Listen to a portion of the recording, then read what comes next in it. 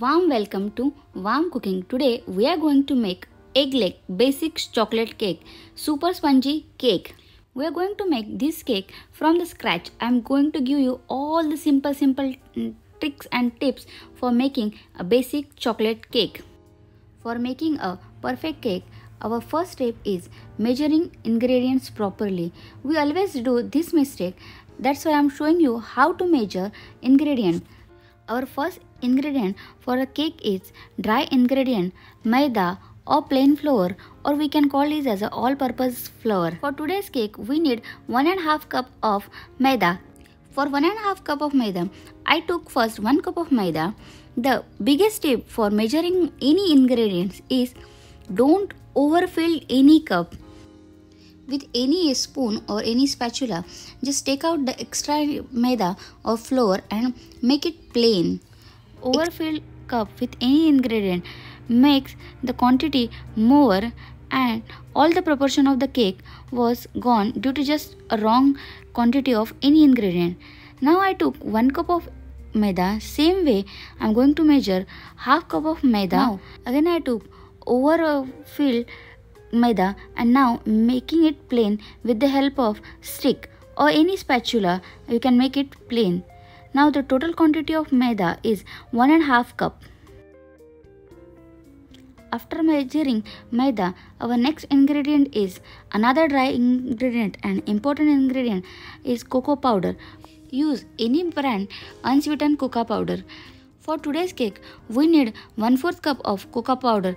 Again uh, we have to fill the cup and make it plain as you can see my cup is overfilled and now with the help of stick I am making it plain and taking out extra amount of cocoa powder.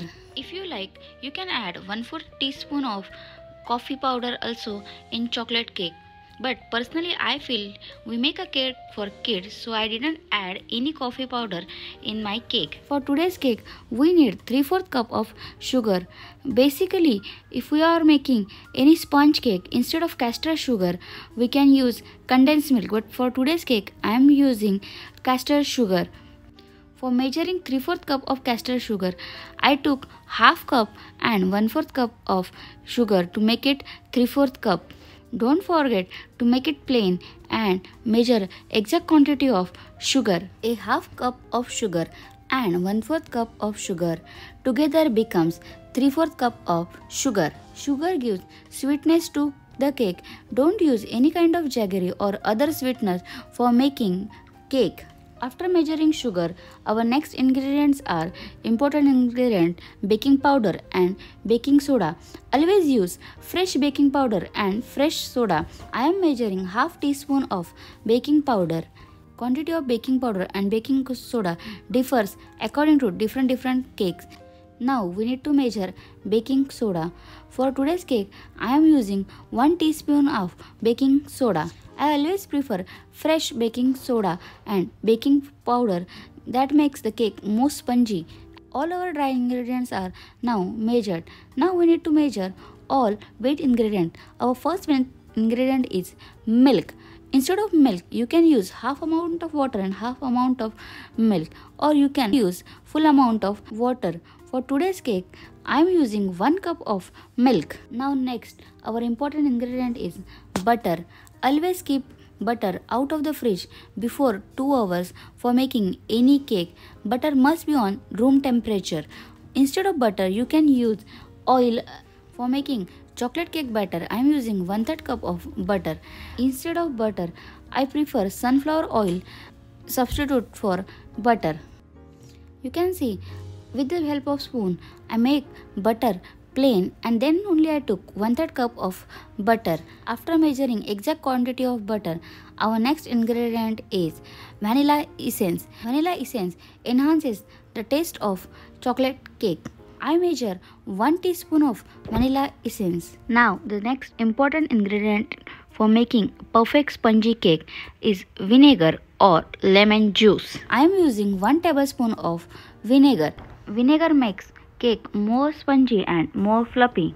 Once you measure all our dry and wet ingredients, keep them aside. Now our next and important task for making a perfect cake is choosing a perfect size pan for cake.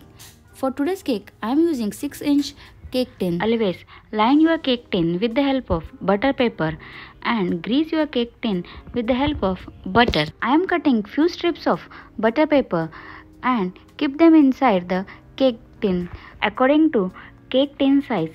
Cut butter paper and make a strip of butter paper. Now cut a round shape from the butter paper for the bottom of cake tin. You can see how easily I cut a perfect round shape. Now keep our round shape inside the cake tin and cut a perfect round according to our cake tin size. Now I made exact size of round shape. Now grease cake tin with butter. Butter helps to butter paper to stick pan. After greasing with the butter, now keep your butter paper and stick it to the bottom and side nicely. Butter and butter paper prevents cake from sticking to the bottom and sides of the pan with butter. If you don't have butter paper at home, you can use plain flour to dust on cake tin. I always prefer one more butter layer on the butter paper so that it always stick to cake tin. You can see I nicely covered cake tin with butter and butter paper. Cake tin is ready for baking. Now I am going to tell you one secret tip for a perfect baked cake. This tip help cake to become fluffy in the center or become dent. It also prevent cracks appear on the top of the cake. I always wrap my cake tin with wet aluminum foil strip so that my cake become more spongy and fluffy and no lines or dent comes on my upper surface of cake. To make wet aluminum strip, I took 4 kitchen paper rolls or instead of kitchen paper rolls you can use newspaper also. I nicely folded kitchen paper roll or newspaper roll. Now cut aluminum strip according to our cake tin size. Now weight our kitchen paper roll or newspaper roll. Make it fully weight Keep the weight kitchen paper fold on aluminum foil. Wrap kitchen paper roll with the help of aluminum foil. Always keep in mind we make a strip of your cake tin size, the sides of cake tin. Instead of aluminum foil, nowadays in the market we get wet cloth strip that we can attach to our cake tin. Now my strip is ready. Now I am going to wrap, wrap aluminum strip to sides of my cake tin. Wet aluminum foil strip or cloth strip helps cake from becoming too fluffy in the center or dent in the center. Now my cake tin is perfectly ready for baking. Once cake tin is done, keep it aside. Now our most important task for baking a perfect cake is set oven. For for a perfectly baked cake, we need to preheat our oven. For that, I keep my oven temperature on 250 degrees Celsius and function knob on fan with the grill mode and timer for this is 10 minutes. Now oven is set for preheating for next 10 minutes.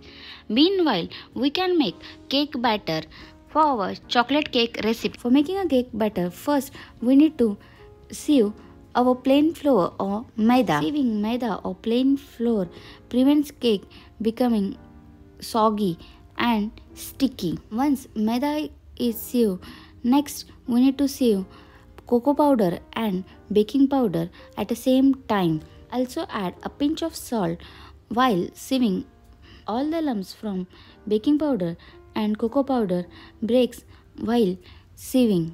Once all dry ingredients are done, keep them aside. Now we will move to our wet ingredient part. For wet ingredients, first I took butter. Always keep in mind butter is always we need on room temperature. It not be in hard form or it not be in melted form. It's we need butter on room temperature. Take a butter in a big bowl. Now with the help of hand blender, blend butter nicely for 2 to 3 minutes. Speed of blender while blending butter is always on high mode. Once you blend, butter for 2 to 3 minutes. You can see the butter become light in color and very fluffy. Now my butter is ready for cake. Our next ingredient for cake is adding sugar in butter. Just gently mix butter and sugar together. For mixing butter and sugar, keep blender speed on 1. Once sugar and butter mix together, we need to add milk and flour mixture.